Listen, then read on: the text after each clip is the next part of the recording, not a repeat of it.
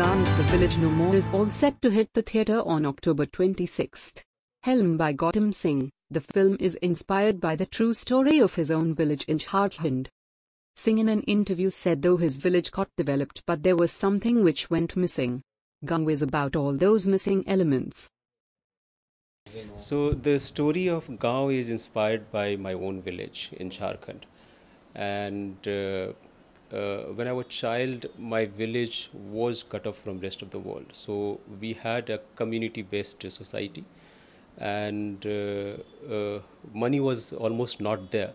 So everybody depended on each other uh, for everything. So uh, we had some sort of system like uh, entire village will gather three times a day for meal.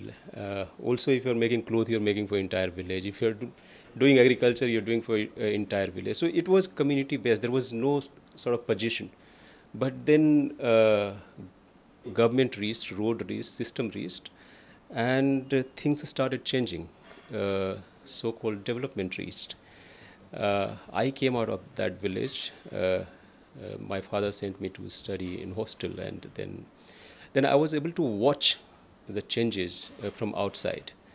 And uh, uh, now, when I see people call themselves so-called developed, they have got all the new technologies, TV, phone, and all those things, pakka makan, but कुछ जो है missing होता चला गया the गांव tells the story of those missing element so it is basically my own story and uh, I wanted to capture it. I'm a documentary filmmaker. I couldn't cap capture it while it was happening, so I had to fictionalize it, and then I uh, made this film.